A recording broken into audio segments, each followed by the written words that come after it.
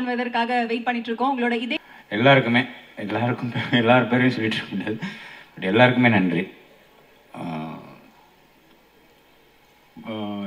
இந்த படத்தை இப்போ ரீமேக் பண்ணலாம்னு பார்த்தம்போது நான் அந்த படத்தை நான் பண்ணட்டுமான்னு சொல்லி ரொம்ப விரும்பி கேட்டேன். சரி அப்போ அதே டைரக்டரே இருக்கட்டும். சொல்லி பத்மகுமாரை ஃபிக்ஸ் பண்ணது. அவர் டைரக்டரை கூப்பிட்டு சொன்னேன் இந்த மாதிரி உங்களோட படம் ரொம்ப பிரமாதமாக இருக்குது சார். ஆனாலும் அங்கே உங்களுக்கு ஒரு சில சங்கடங்கள் இருந்திருக்கும் பட்ஜெட்டு அது இதுன்னு சொல்லிட்டு. அப்படி அதை பற்றி ஒன்றும் கவலைப்படாதீங்க. அங்கே விட்ட விஷயங்களை நீங்கள் இங்கே கொஞ்சம் ஃபைன் டியூன் பண்ணிக்கிங்கன்னா ரொம்ப நல்லாவே ஃபைன் டியூன் பண்ணிட்டாரு. அதோட இது நல்லா இருக்குன்னு தான் நான் சொல்லுவேன். ஜீவியோட இசையும் யுவபாரதியோட பாடல் வரிகளும் மிகப்பெரிய பக்கபலமாக இருந்துச்சு. அந்த மதுசாலினி பூர்ணாவுக்கு என்னோட ஏன்னா இப்போ ரெண்டு பேர் சேர்ந்துலாம் வந்து இப்போ அது கேட்டு ஒருத்தர் அவங்களுக்கு என்ன பண்ணுறாங்க இவங்க என்ன பண்ணுறாங்க அந்த மாதிரிலாம் எதுவும் கேள்வி கேட்காம படத்தை பார்த்துட்டு நாங்கள் இதை பண்ணுறோன்னு சொன்னதுக்காக. வந்து பேசின எல்லாருக்குமே ரொம்ப நன்றி.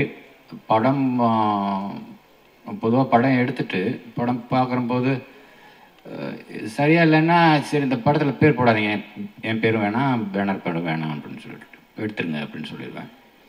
ஆனால் இந்த படத்தை முழுசாக பார்த்ததுக்கப்புறம் போடுங்க. நல்லா தான் இருக்குது படம். அப்படின்னு நானே போட சொன்னேன்.